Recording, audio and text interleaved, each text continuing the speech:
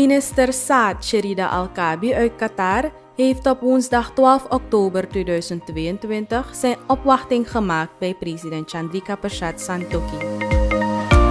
De bewindsman vertoefde in Suriname voor een eendaags bezoek, waarbij hij ook een ontmoeting had met minister David Abiyamovo van Natuurlijke Hulpbronnen.